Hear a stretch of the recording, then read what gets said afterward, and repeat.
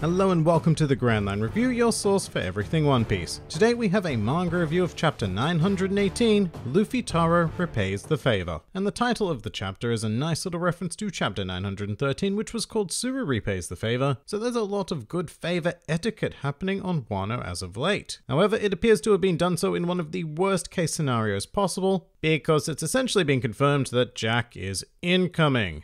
I was hyped for that last week, I'm hyped for it this week, and I will continue to be hyped for it next week. A calamity getting involved is exactly what we need to really kick this arc into action after a disappointing bout with Hold'em and a seemingly powerless Hawkins to deal with. I mean, he even admitted there's not a whole lot he would have been able to do against Luffy, Law, and Zoro, so yes please, let's bring in some of the big guns. But for now, I'm really enjoying Law's reunion with Luffy because his constant surprised anger is just great comic value. This is the side of Law that I really love, the all too serious concerned adult getting mixed up in the shenaniganry of two idiots. Plus, he had some really great action panels this week, specifically the one where he sliced up a whole group of Hawkins' minions, and a further amazing panel featuring a sword clash directly with Mr. Hawkins. In fact, the art in this chapter was on point in general, right down to that super dark panel on the two page spread of a family about to commit suicide, presumably to avoid starving to death. That was incredibly unexpected, by the way. One Piece rarely gets taken to a place that dark outside of a flashback, and it's really cool because that one panel just conveys so much. I complained last week about how Oda used an entire page to convey the plight of Wano in a way that we already had an understanding of. And I'll stand by that complaint because this week Oda expressed that idea significantly more effectively in but a single panel. That aside, there's a fair bit of intrigue to be had in this chapter, which is primarily generated from the last panel, showing a series of graves with some very familiar names on them. There are eight in total, five of them with readable names, one of whom is Kozuki Oden. He's allegedly dead, so that checks out. Tick, no problems there. However, it's when we read the names Momonosuke, Kinemon, Kanjuro, and Raizo, characters we know of as alive and well, that an eyebrow is raised. Now there's a simple answer to this, and that is that these graves, or the majority of these graves, are fake and are used as propaganda to keep the citizens of Wano under control, thinking that they have no hope of returning to their previous ruling class. That also happens to be the boring answer though. So instead of harping on about that, let's take a moment to talk about ghosts.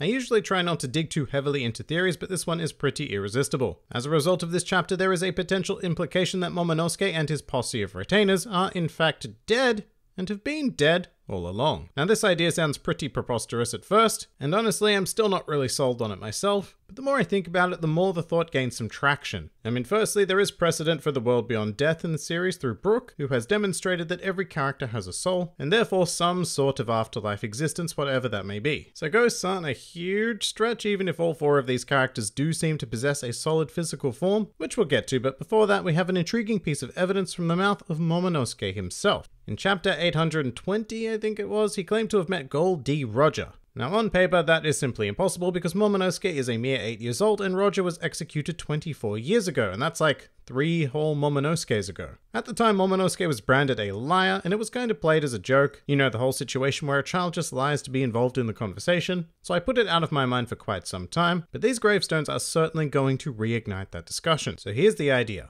Momonosuke was not lying about having met Roger.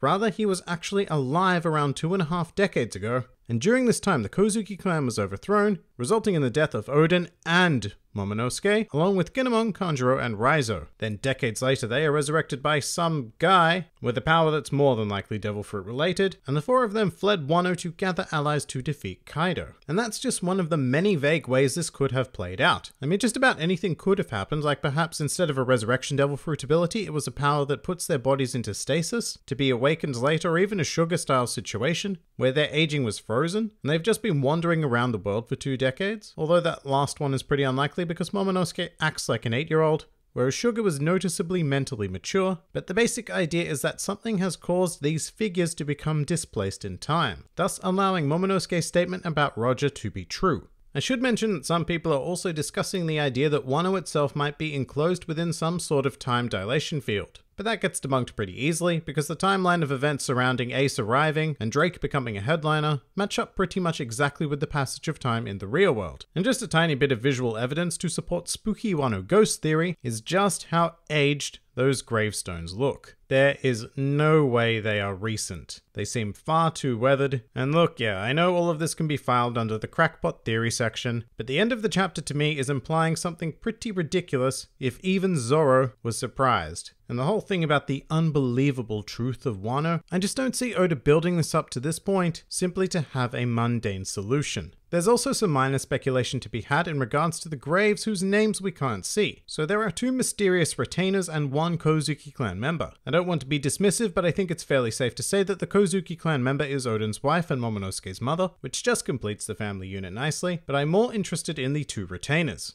Personally, I'm hoping that one of them turns out to be Shutenmaru, because it ties that character to the core story a bit more, rather than having him be another random faction of Wano. As for the other, my immediate thought was Hitetsu, the Tengu guy from many chapters ago. To me, his design matches the fairly outlandish style of the retainers we've seen thus far, so it would just make sense really, at least aesthetically. Another possibility is that the two retainer graves belong to Nekomamushi and Inuarashi. And actually, just thinking about it, they make a lot more sense than Shutenmaru or Hitetsu, because they were both actually said to be retainers of the Kozuki clan.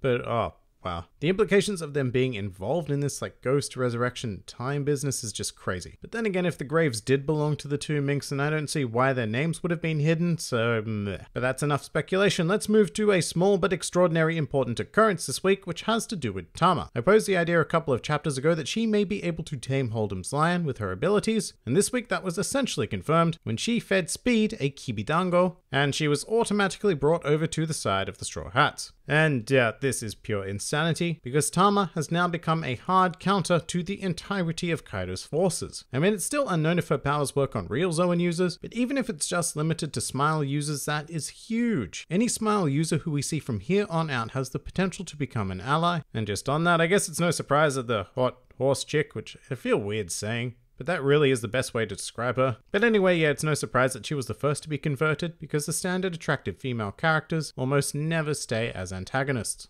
But surely with this new information, the plan becomes to capture as many of Kaido's army as possible and turn them into your own personal force in rebellion, unless of course Tama's powers have limitations to do with the amount of individuals she can tame at any given time, or an even simpler limit regarding how much of her cheek she can plonk off. I mean, everyone has a finite amount of cheek on their face to work with in life. And the last thing I want to touch on is Hawkins. He was cool and all as per usual, but he said something really weird when he discovered Law's identity, which was that Luffy and Law did form an alliance after all. And this confuses me because surely Hawkins already knew that. I mean, he was with Kid and Apu when he found out that the alliance took down Doflamingo, so it's not as if the idea of an alliance was up in the air. There was also the whole article prior to that, which announced the alliance, and Hawkins definitely would have seen that because it contained the announcement of his own alliance in that very same newspaper. Anyway, that's just a weird thing that got to me that no one else will probably care about, but Hawkins was cool in general, although I still can't really get a read on him, he's just so deadpan in every possible situation. I don't know if the Straw Hats are hindering his lifestyle on Wano, or if they're giving him hope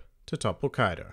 In any case, that pretty much does it for chapter 918, a surprisingly intriguing installment into the series, and I cannot wait to get into the greater depths of the Wano story. If you enjoyed this video, then feel free to like, favorite, or subscribe, and if you are in any way keen on supporting this independent channel, then please do check out my Patreon, Discord server, or Twitter, the links to which are in the handy description below. And finally, please do comment with your thoughts on the chapter.